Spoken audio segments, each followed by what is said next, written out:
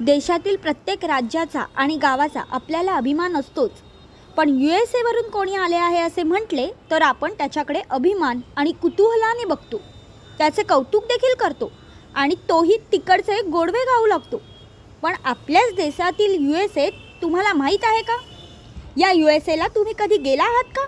अहो आपल्या देशातील हे यू एस ए म्हणजे दुसरे तिसरे कोणतेही शहर नसून हे शहर तर आहे आपले उल्हासनगर. जय सबसे पहले तो मैं आपको बताऊँ यहाँ का जो नाम था वो तत्कालीन उस समय उस टाइम के गवर्नर जिन्होंने उल्लासनगर का नाम नाम रखा था हमारे शहर को उस समय उल्लास एक खुशी जिसका मक, अ, मतलब होता है उल्लासनगर क्योंकि हमारा शहर उल्लासनगर रेफ्यूजी कैंप कैंप के रूप में हमको यहाँ पर बसाया गया था। मतलब उस समय जंगल का ऐसा माहौल था या झाड़ थे कि सांप थे, बिच्छू थे जीव जंतु सब रहते थे।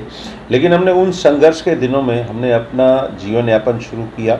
हम लोग ने यहाँ पर अपने बलबूते पर इस शहर को और अपने समाज को आगे बढ़ाने का जो कार्य किया है, मेहनत और मशक्क़त से, उसमें हमारे पास बेकरी बिस्किट फैक्ट्रियाँ इलेक्ट्रिक जो सामान बनाने की कंपनियाँ लूम्स जिसमें कपड़ा बनता है रेडीमेड की फैक्ट्रियाँ तो हम लोगों ने ये बनाना चालू किया और हमारे माल की गुणवत्ता इतनी अच्छी थी और इतनी परफेक्ट थी कि हम लोग उसका पूरे बम्बई इलाके में, पूरे महाराष्ट्र में और बाद में थोड़े सालों बाद उसका उत्पादन और उसमें सुधार करने के बाद में वो देश विदेश में भी जाने लगा।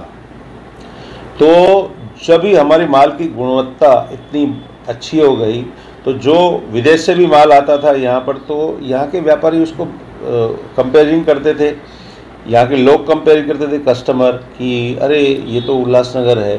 तो वहाँ पर उस समय हँसी हँसी कर मज़ाक मज़ाक में तो वो पहले उसको कंपेयरिंग करते करते भाई, ये यूएसए का है। तो इंडिया का यूएसए ऐसे कहते थे। महाराष्ट्र का यूएसए ऐसे कहते थे। तो जब भी इसके लिए ऑब्जेक्शन जब हुई तो उस समय हमारे व्यापारी एसोसिएशन वो जो मज़ाक मज़ाक में हुआ था तो कभी ये लोग डुप्लीकेट का भी नाम लेते थे।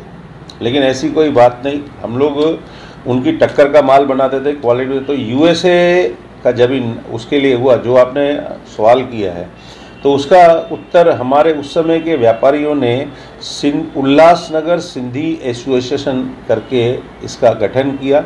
उसके स्वरूप में हम लोगों ने उसको काम को आगे बढ़ाया।